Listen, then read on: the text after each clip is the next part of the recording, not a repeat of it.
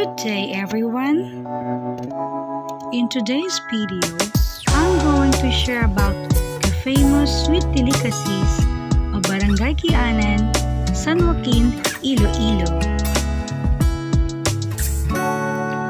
Join me, enjoy the views going to Barangay Qui-Anan from Barangay Santa Rita, San Joaquin, Iloilo.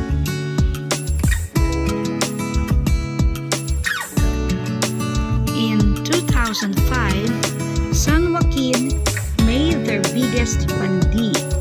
They held the event during San Joaquin's annual Bailuhay Festival, which was dubbed as Adlaw Kang Bandi.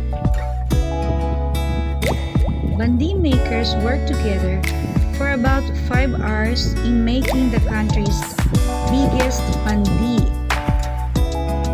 It measured 14.5 meters and 9.7 meters, covering more than half of a basketball court.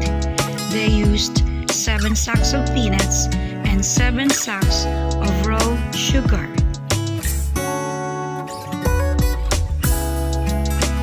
Native peanut is a staple product in San Joaquin, and bandi, or peanut brittle, is the town's native delicacy.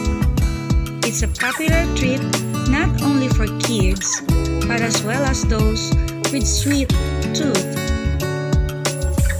It's made of peanuts and caramelized sugar.